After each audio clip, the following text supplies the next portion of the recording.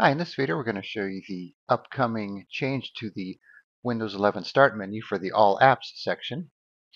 Alright, so this is supposed to be coming out uh, pretty soon here in the future, but we're going to show you this on an Insider edition of Windows 11 because you're not going to be able to use it yet unless you're watching this in the future when it's available.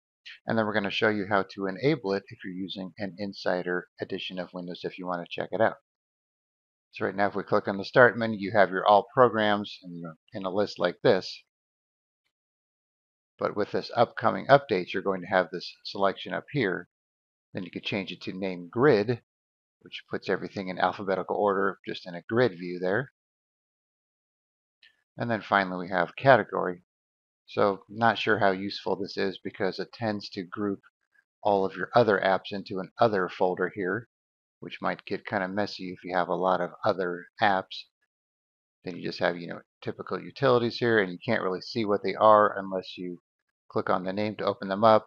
And you can click on the actual icon within the group to open it, of course. And you could also right click, get your start settings, right click on a specific icon, and you could unpin it from the start or open it from here as well. And then by the way, if you didn't know, if you're in the normal view here, you could actually click on the little pound here or one of the letters and that'll bring you to your letters here and then you could go right to the section. So let's say I want to go all the way down to X without having to, you know, scroll from the top all the way down to get to it. Just click here and pick the letter you want. Alright, so to enable this new feature here in Windows 11, uh, we're going to be using the Vive tool. So the Vive tool is a way to enable unreleased or hidden features in Windows. So once you download it, so I have it here on the F drive. So you have to run it via the command line, even though there is a GUI version of it. So I'll put a link for that in the description as well. So once you have it downloaded and extracted, so there's nothing to install for the command line version at least, you want to open an administrative command prompt to that location where you have the executable.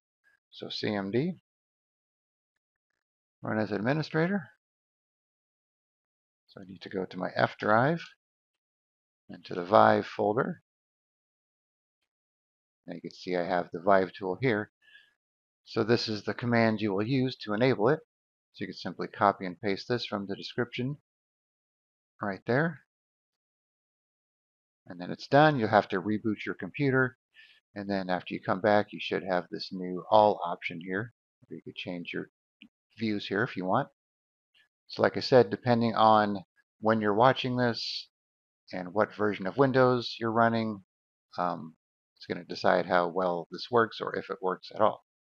And then if you change your mind or if it doesn't work for you, you could come here, do the same thing with disable, reboot your computer, and then you'll have your normal start menu back.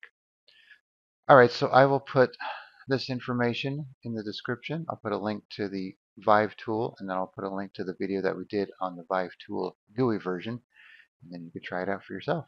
Alright, thanks for watching, and be sure to subscribe.